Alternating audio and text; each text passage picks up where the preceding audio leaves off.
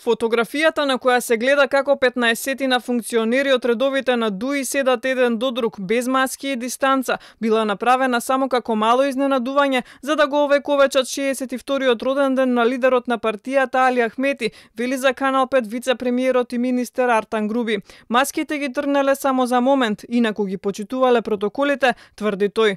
Но освен оваа фотографија, која на Фейсбук ја објави министерот Бујар Османи, како и на таа на која Ахмети сече торта без без заштитна опрема, жестоки критики во јавноста предизвика и тоа што роденденот се прославува во просториите на новата зграда на Министерството за политички систем. За ова груби вели дека традиција било вакви настани да се организираат во државни институции. Се. Настанот се организира на првиот работен ден во новата година и според протоколите. Сликата што ја објави Османи беше само еден момент за заедничка фотографија, при мало изненадување што колега го приреди за господинот Ахмети, слично како и минатата година во собранието, искористувајќи го неговото присуство. Протоколите првенствено ги почитуваме за нашето лично здравје и за нашите семејства, како и за граѓаните.